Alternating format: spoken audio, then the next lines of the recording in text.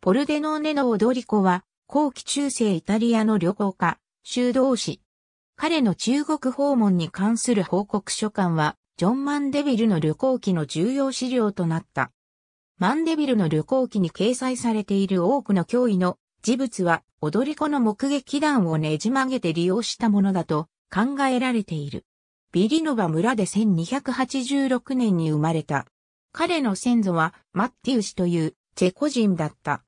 電気シアによれば、彼は若い頃、フリウーリの州都であるウーディネで、フランシスコ修道会に入会した。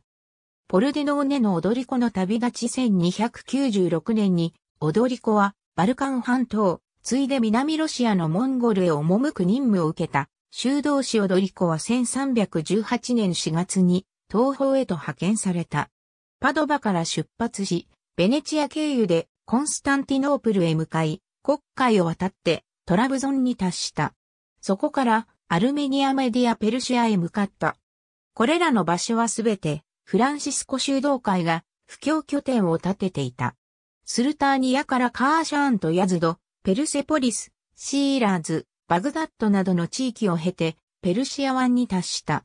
アイルランド人の同僚である修道士ジェームズと一緒にホルムズからインドへ渡り、ボンベイ近郊のターネーに上陸した。この町には4人のフランシスコ修道会士がおり、彼らのうち3人はイタリア人で、もう1人はグルジア人だった。彼らは少し前にムスリムの知事の手で殉教させられていた。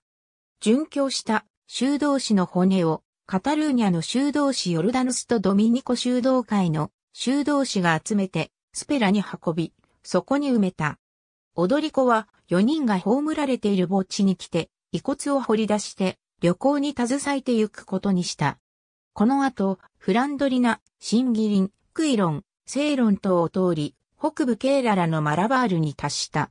マラバールにはトマスの意外のある教会があった。彼はインドからジャンク船に乗りスマトラ島、ジャワ島に達した。ジャワ島に関する記述では、ジャワの王は家体の汗と何度も交戦して撃退したとの記載がある。ボルネオ島付近を北上し、残波を経て南下、ニコバル諸島、シラン島、ドンリン島を経て、チェンスカランに到着した。カントンからザイトン、フゾ、関西、チレンフ、イアムザイ、レンズイン、スンズマトゥ、カンバリクに到着した。ザイトンには、フランシスコ修道会の修道院が2つあり、踊り子は、そこにインドから携えていた殉教者の遺骨を埋葬した。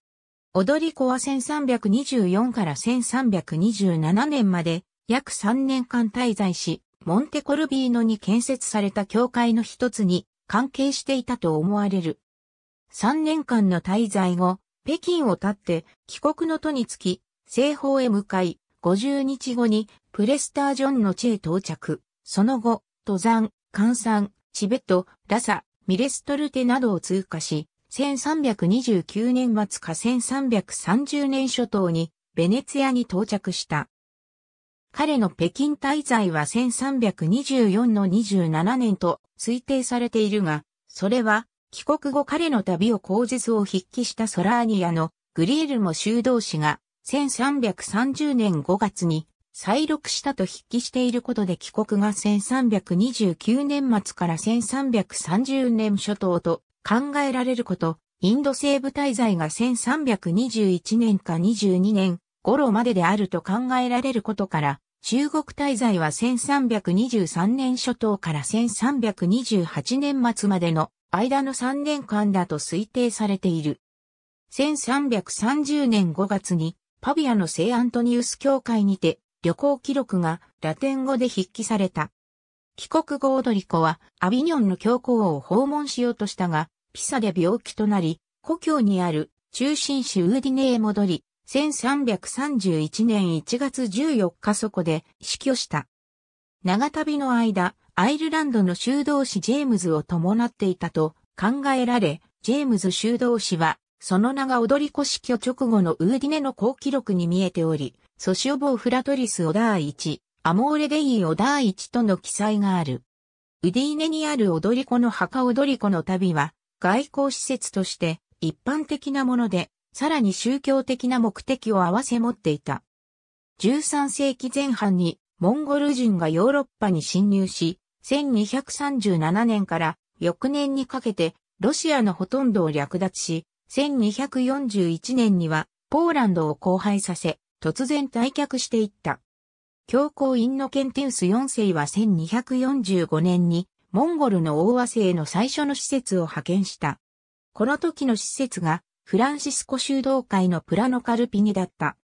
このような教皇の外交政策は14世紀にも引き継がれ、ニコロ、マフェオ、マルコ・ポーロらの1260年から1271年の2度の旅や、1294年のモンテコルビーノの教皇、ニコラオス4世の派遣へと展開していった。遠大な彼の旅の名声は、同じフランシスコ修道会の人々よりも、彼の同郷の人々に大きな印象を与えた。彼の死去後、修道会は特別な儀式を催すこともなく、埋葬した。しかし、彼の驚嘆すべき旅行や死後の奇跡の噂が広まり、熱狂がフリウーリやカルニオーラ中に、のびのごとく広まったため、ガスタルドや死の主席行政官が乗り出して、公的葬儀を行うよう指示した。葬儀は再三延期され、最終的にはアクイレーアの総大司教とその地方の高官たちの前で行われた。人々の頑固が彼を偶像視させ、地方政府は彼の体のために立派な寺院を建設し、14世紀の中頃には聖者かつ旅行家としての名声は遠く広まった。とはいえ、教皇が彼を列服したのは4世紀後の1755年のことだった。踊り子の半身像が1881年に出身地のポルデノーネに作られた。踊り子の旅行記はラテン語だけではなく、フランス語、イタリア語版など多くの写本が作られ現在まで多数の写本が残っている。14世紀中から早く広まり、人気を得た。内容に不正確なところがあるからとして、価値を認めない人々もいるが、踊り子の功績はジョン・マンデビルのような奔放さにあるのではない。彼の旅行家としての非凡さはその旅程に見ることができる。彼はスマトラ島の正確な名前に言及した最初のヨーロッパ人であり、マルコ・ポーロが記載していない中国の転則にも言及している。多くの奇跡が彼の墓で見られたということに動かされ、教皇ベネディクトゥス14世は1755年に踊り子を列服した。1881年には、ポルデノーネ氏は追悼を行った。73のラテン語、フランス語、イタリア語の写本が伝尊している。最も重要なものは、フランス国立図書館にある1350年の写本である。最初の印刷本は、ペーザロで1513年に印刷されたもので、アポストロゼノは、リンガー・インカルタ・イー・ロザと呼んだ。